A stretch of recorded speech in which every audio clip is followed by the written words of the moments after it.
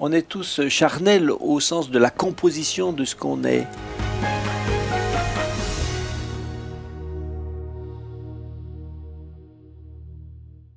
Alors, euh, je dirais pas seulement qu'il peut, mais je dirais qu'il l'est tout le temps. mais, pas, mais pas de la même façon chez tout le monde. Euh, on, est tous, on est tous, euh, on est tous charnels au sens de la composition de ce qu'on est. C'est-à-dire qu'on est tous, on est tous nés d'un papa et d'une maman qui étaient eux-mêmes des pêcheurs, et par définition, on l'est, on l'est par naissance et on l'est à certains moments par choix.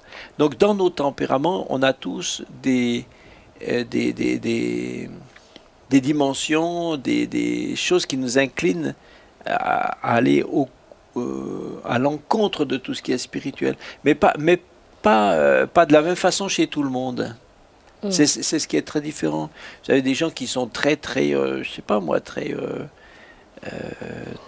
très entreprenants, euh, et, dans, leur, euh, dans leur façon de faire, il y a, y a quelque chose qui, qui, qui va euh, entreprendre, mais, mais c'est un, petit peu comme, un petit peu comme une espèce d'ambition personnelle de toujours réussir.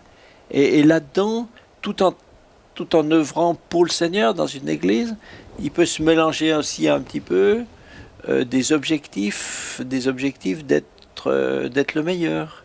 Mais, mais mais c'est insidieux, ça se voit pas, ça se voit pas facilement. Et puis un autre a un tempérament, euh, un tempérament euh, très très réservé, beaucoup, plus, euh, bien moins créatif et tout ça. Et finalement, son tempérament l'amène l'amène à se à se replier sur lui-même. Hmm. Mais en se repliant sur lui-même, il se coupe des autres. Hein. C'est une autre façon de ne pas être disponible de ne pas être spirituel. Mais chacun a, euh, dans toutes les qualités qu'on a, je, il me semble, hein, dans toutes les qualités qu'on a, il y a toujours un, excès, euh, un excès ou un manque euh, possible. toutes les qualités sont neutres en elles-mêmes. Elles mm. peuvent toutes devenir pernicieuses par, par outrance ou... Ouais.